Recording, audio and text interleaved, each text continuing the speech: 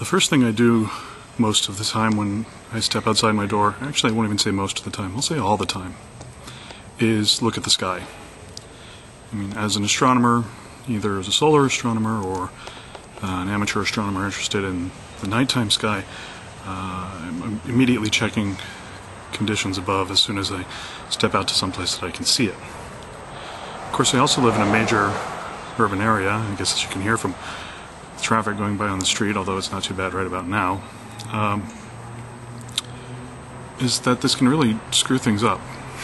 So let's um, let's go take a look at that. Okay, so this is looking to the south from uh, from my apartment, and I guess most of what you see is just the lights along the, the way here. But let me zoom in and see if we can get a look at the sky itself. I realize tonight it's cloudy.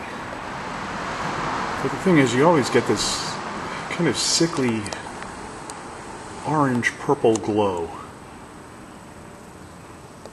Any of you who live in an urban area probably know what I'm talking about. That it doesn't even matter if the sky is cloudy or not. You don't really see stars. You see this this glow. And it's a color that I don't think exists anywhere else. So here's what I get if I look towards Century City and towards downtown LA. Nothing but this glow.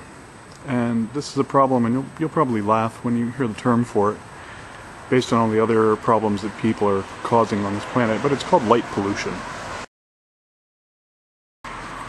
And you may say, light pollution? What the heck? But when you think about it, every culture before industrial times had a pretty much unfettered view of the night sky. It was one thing that kept all of humanity in touch with each other.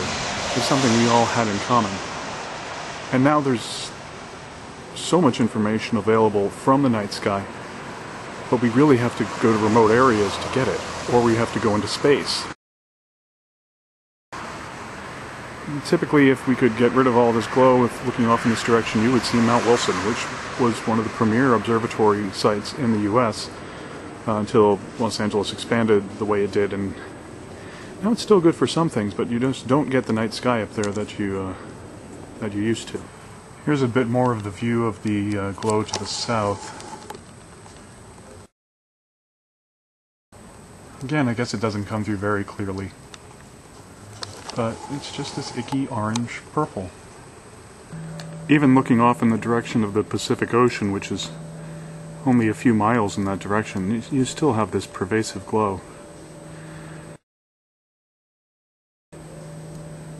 And I know you're thinking, why are you worried about light pollution with all that else, you know, everything else that we're doing? I think everybody has a right to be able to look up and see the stars. I think everybody has a right to feeling this common experience of viewing the night sky without interference. So currently, to get away from light pollution, we have to go to remote areas or spend hundreds of millions or billions of dollars to put telescopes in space to get some of the views that we could generate on Earth with adaptive optics.